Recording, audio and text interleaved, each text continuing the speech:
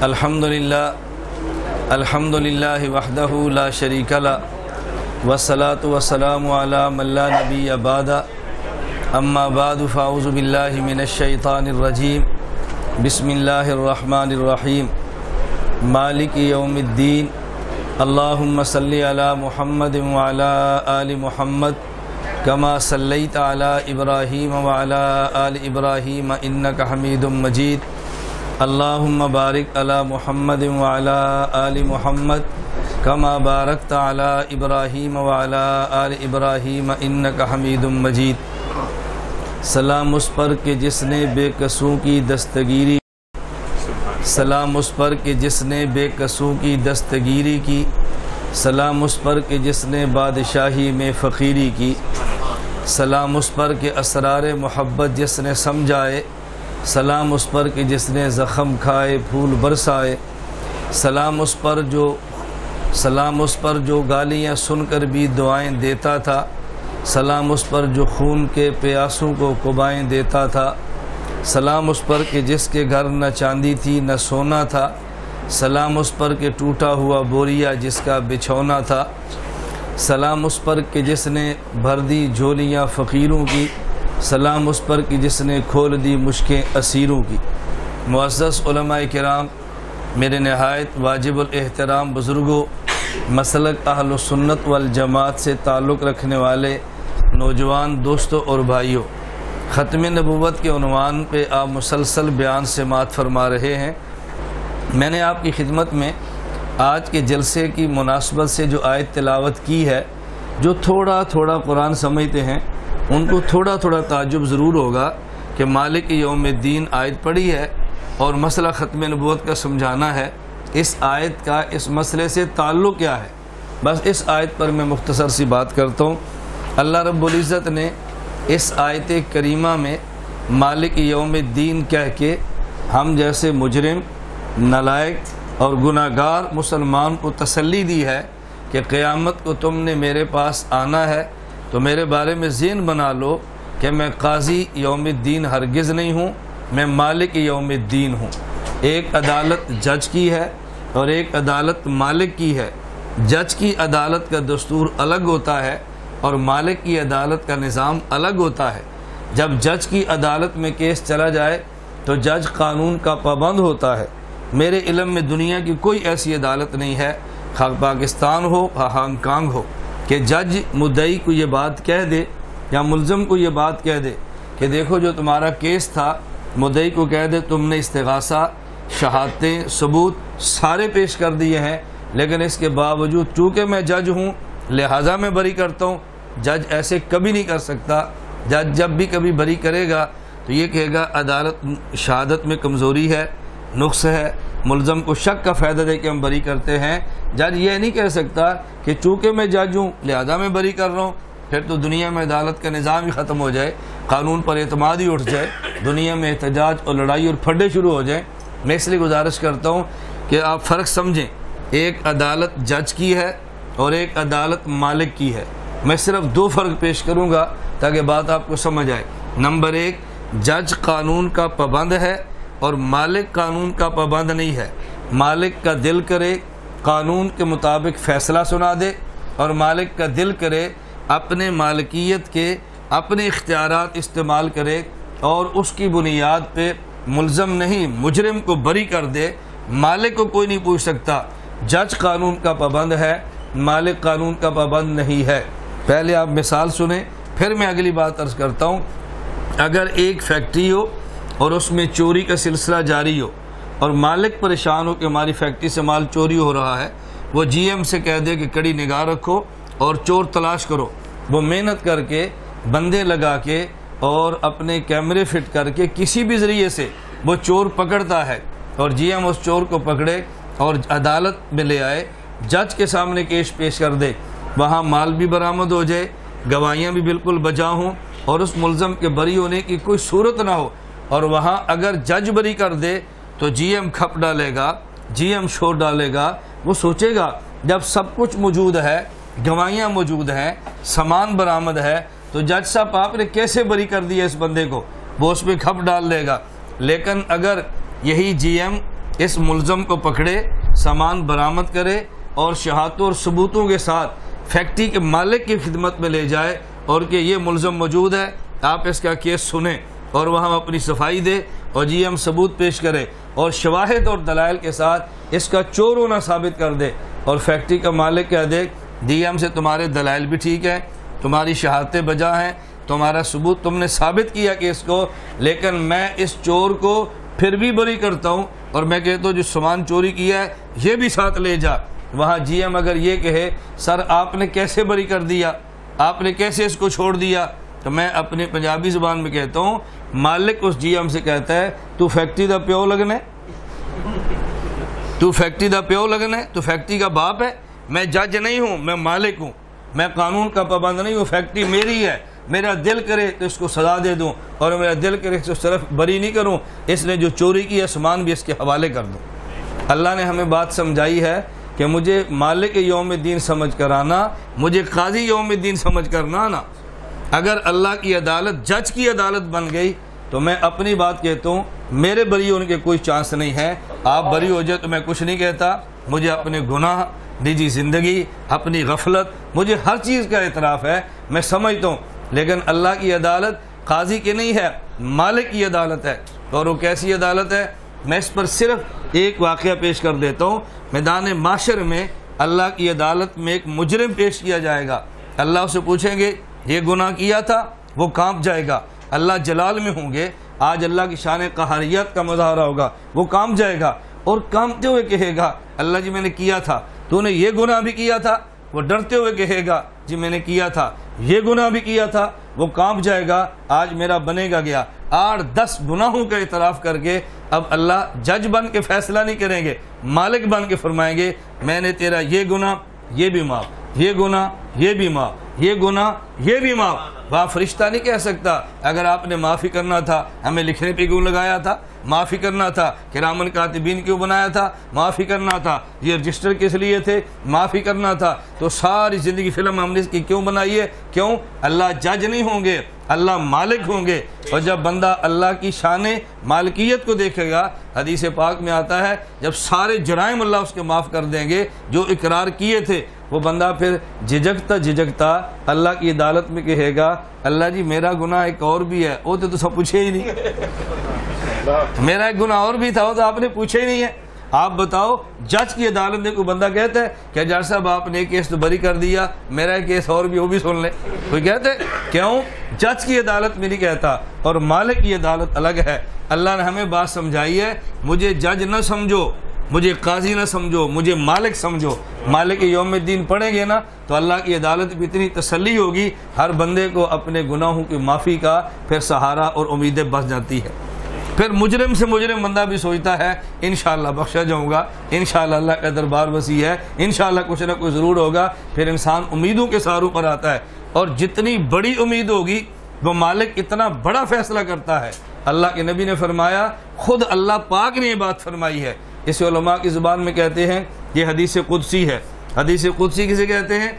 کلام اللہ جو بین نبی بلفظ ہی وہی ان الا رب ہی ایسا ارشاد جو اللہ کے نبی کی زبان سے نکلے، لیکن اللہ کے نبی نسبت اللہ کی طرف فرمائیں کہ یہ میرے اللہ نے فرمایا ہے۔ اللہ نے فرمایا، میرے محمد، ان کو بتاؤ، انا عند ظن عبدی بھی میں ایسا مالک ہوں، تم جیسا گمان کرو گے نا، میں ایسا ہی دوں۔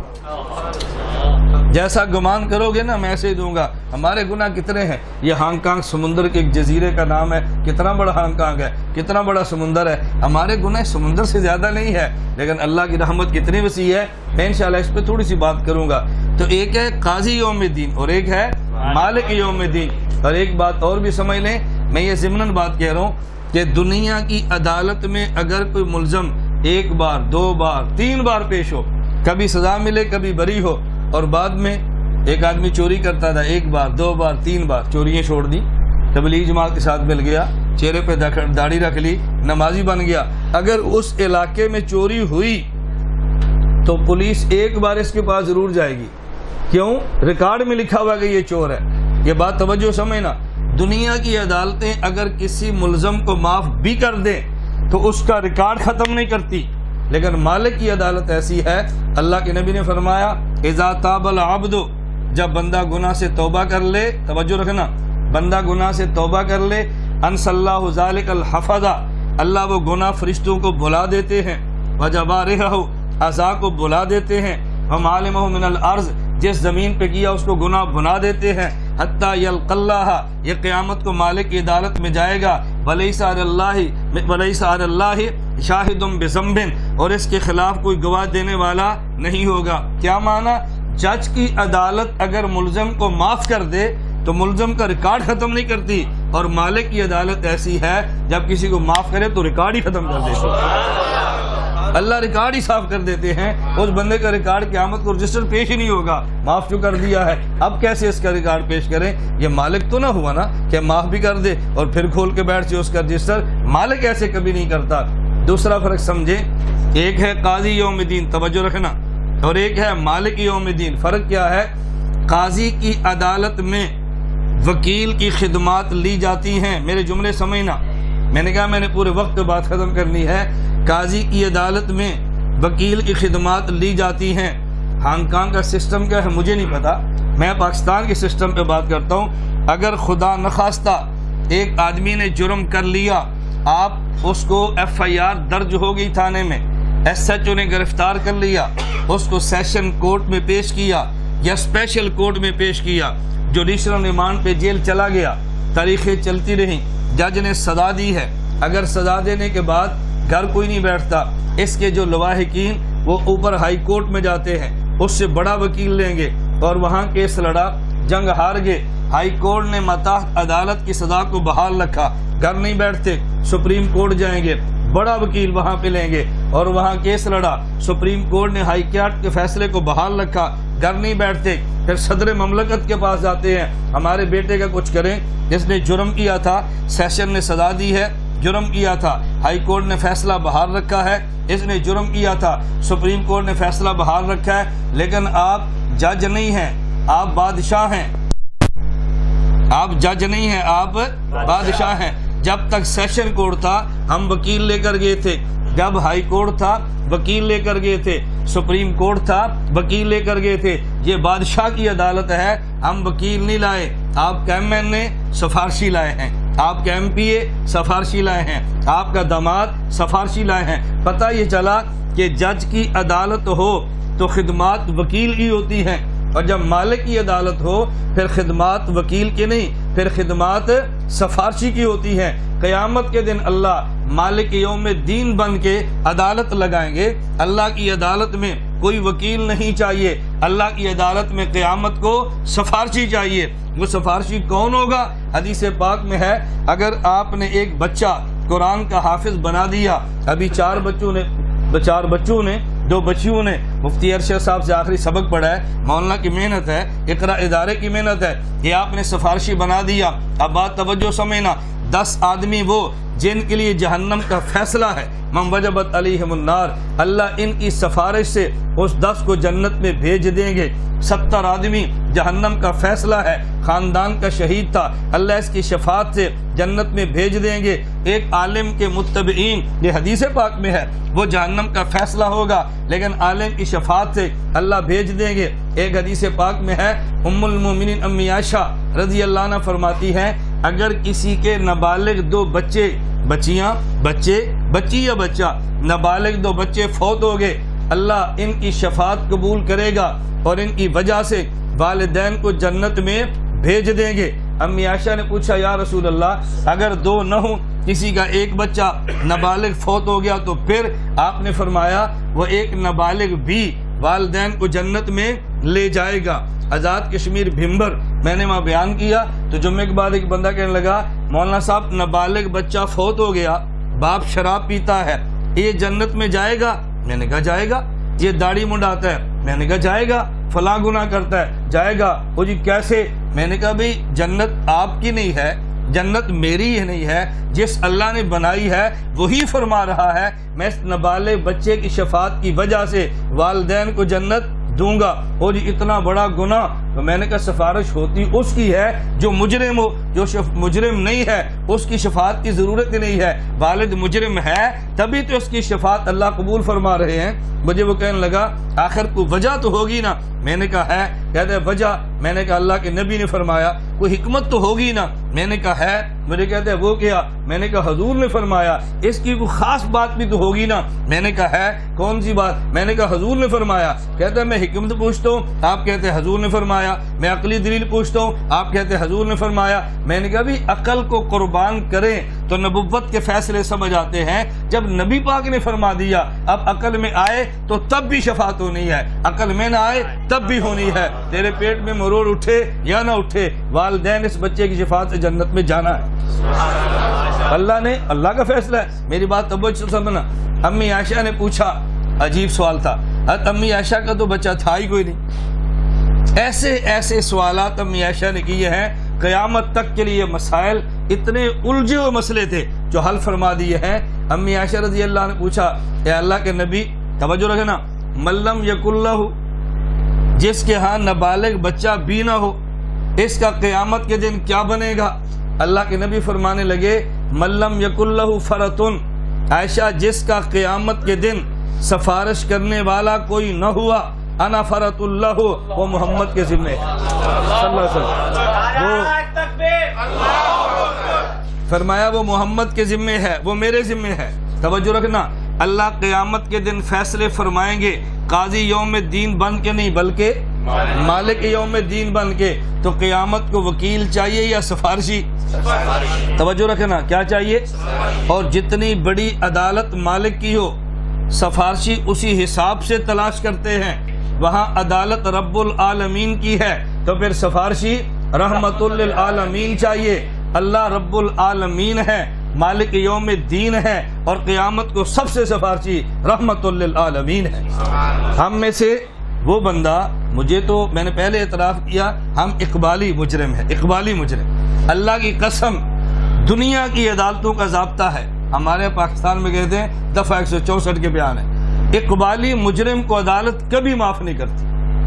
اقبالی مجرم کو کوئی بندہ عدالت میں جا کر کے نا جی میں نے اعتراف کیا کہ میں نے بندہ مارا ہے اور جج کہ تو نے اعتراف کیا میں نے معاف کر دیا اقبالی مجرم کو کبھی عدالت معاف نہیں کرتی۔ عدالت میں جائیں گے، پولیس نے تو شدت کیا۔ جرم کا اعتراف کرا لیا ہم میڈیکل پیش کریں گے عدالت میں ثبوت دیں گے۔ میں نے اعتراف نہیں کیا تھا یہ تشدد سے ہوا ہے۔ اقبالی مجرم کو عدالت معاف نہیں کرتی لیکن جج کی عدالت۔ مالک کی عدالت یوں نہیں ہے وہ اقبالی مجرم کو صرف یہ نہیں معافی نہیں کرتی اس کے گناہوں کو بھی نیکیوں سے بدل دیتی۔ میں عرضی کر رہا تھا کہ ہم اقبالی مجرم ہے اقراری مجرم ہے اللہ نے فرمایا مالک یوم دین سمجھ کر آنا مجھے قاضی یوم دین سمجھ کر نہ آنا۔ اب میں آپ سے گزارش کرتا ہوں، آپ بتائیں، ہم میں سے ہر کسی نے اللہ کی عدالت میں جانا یا نہیں؟ جی جانا ہے۔ میں ایک جملہ مدرسے کے حوالے سے کہہ دیتا ہوں، یہ زیر میں رکھ لیں، آپ بچے سکول میں داخل کرائیں، ہمیں خوشی ہے۔ ہم سکول مانتے ہیں، مخالف قطر نہیں ہے، لیکن سکول سے بچہ وکیل بنتا ہے۔ مدرسے بچہ بھجوائیں، یا وکیل نہیں بنتا، یہاں بچہ سفارشی بنتا ہے۔ توجہ رکھنا سکول میں بچہ وکیل بنتا ہے اور مدرسے میں بچہ سفارشی بنتا ہے۔ وکیل کسے چاہیے جس کا کیس جج کی عدالت میں ہو؟ اور سفارشی کسے چاہیے جس کا کیس مالک کی عدالت میں ہو؟ تو جج کی عدالت میں کیس کسی کسی پہ بنتا ہے، لہذا وکیل کسی کسی کو چاہیے اور مالک کی عدالت میں ہر کسی نے جانا ہے، لہذا سفارشی ہر کسی کو چاہیے۔ سکول ضرورت ہے، مگر کسی کسی کی مدرسہ ضرورت ہے، مگر ہر کسی کی۔ اور عجیب بات یہ ہو، مولویوں کا آپ ظرف دیکھو کتنا بڑا ہے۔ آپ کہتے ہیں تنگ دل ہے، ظرف کتنا بڑا ہے۔ سکول والے کہتے ہیں، سارے بچے داخل کراؤ۔ ہم کہتے ہیں، سارے نہیں، ایک پکا ہمیں دے دو۔ کسی عالم نے آج تک مطالبہ کیا ہو بھی آپ کے پانچ بیٹے ہیں تو سارے بیٹے حافظ بناؤ۔ ہم کہتے ہیں نہیں بھی چار کو آپ سکول میں بھیجے اور ایک ہمیں دے دو۔ ہم ایک مانگ رہے ہیں سارے مانگ رہے ہیں۔ دل بہت چھوٹا ہے آپ کا۔ آپ کہتے ہیں تنگ دل ہے۔ بھائی تنگ دل کہاں سے ہے؟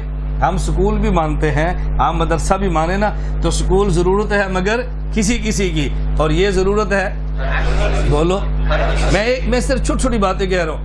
اللہ نہ کرے اگر کسی بندے پر کیس بن جائے اور جیل میں چلا جائے اور جوڈیشل ریمانڈ پر ہو، آپ کا وکیل آپ کا کیس لڑ رہا ہے۔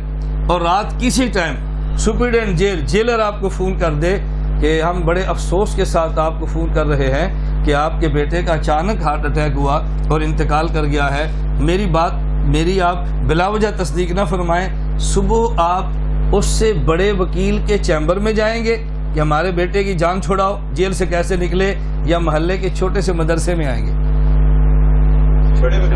جی؟ کیوں؟ اب بڑا وکیل نہیں تلاش کریں گے۔ وکیل کا کام تو ختم ہو گیا نا وہ تو فوت ہو گیا۔ وکیل نے کیا کرنا ہے؟ اب کہاں جائیں گے؟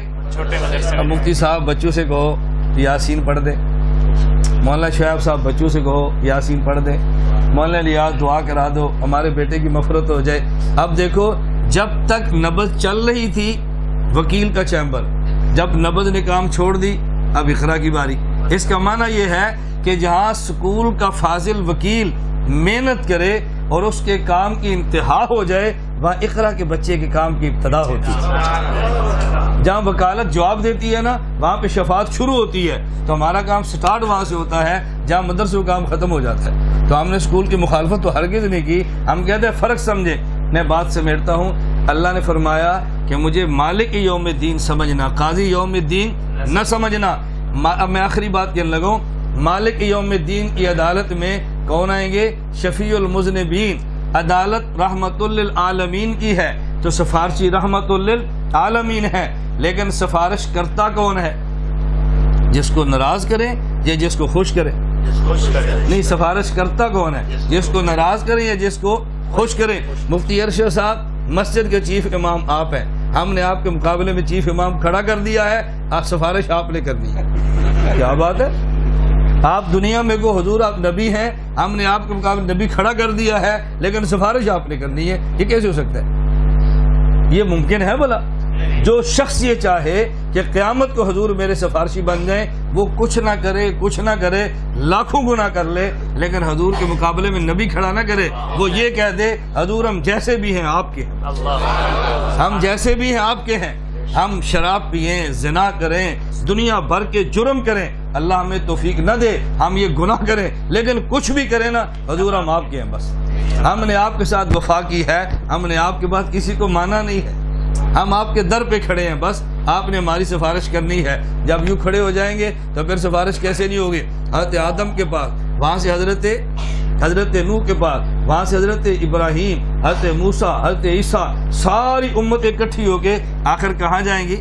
رسول اللہ علیہ وسلم کے بعد، اللہ کے نبی ہم سب آئے ہیں، ہماری سفارش کریں۔ اللہ کے نبی جتنا خدا کا مزاج سمجھتے ہیں نا، اتنا کوئی نہیں سمجھتا۔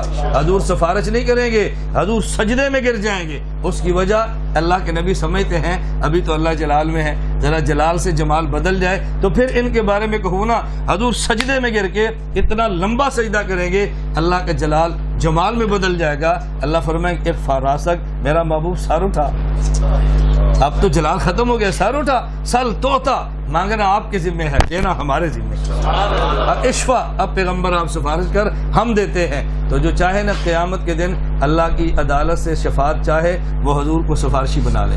میں آپ یہ فیصلہ کر لیں کہ اللہ ہم سب کو گناہوں سے پاک زندگی عطا فرمائے۔ کوئی گناہ بھی کر لینا تو ختم نبوت کے انکار والا جرم نہیں کرنا۔ یہ جرم کبھی نہیں کرنا۔ بد حضور کے ساتھ لگے رہیں۔ انشاءاللہ ثم انشاءاللہ اللہ کے نبی ہماری شفاعت ضرور فرمائیں گے۔ اللہ رب العالمین اور ہمارے نبی۔ بولو، رحمت اللہ عالمین میں بات ختم کرتا ہوں۔ اور ساتھ ایک عقیدہ ایڈ کرتے ہیں کیا کہتے ہیں؟ ایڈ کرتے ہیں؟ ایڈ ہوتے کیا؟ ایڈ۔ ایک عقیدہ ایڈ کرتا ہوں۔ ہماری انگریزی چھوٹی موٹی ہے لیکن آپ اس کو ذرا سمجھیں۔ ایک عقیدہ ساتھ ایڈ کر لیں تاکہ الجھن ختم ہو جائے۔ حضور کون ہے رحمت اللہ حضور کون ہے رحمت العالمین ہمارا عقیدہ یہ ہے کہ نبی پاک صلی اللہ علیہ وسلم مدینہ منورہ قبر اتھر میں ہے یہاں نہیں ہے قبر اتھر میں تبھی تو وہاں جاتے ہیں نا۔ اب بعض لوگ کہتے ہیں نہیں اللہ کے نبی ہر جگہ پر ہیں۔